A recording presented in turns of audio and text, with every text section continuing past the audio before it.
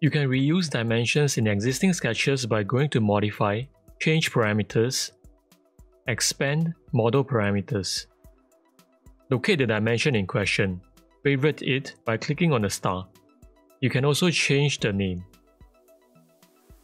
Once this is done, for any new sketch entity that requires the same dimension value, you can just type in the name and the parameter will pop up for selection.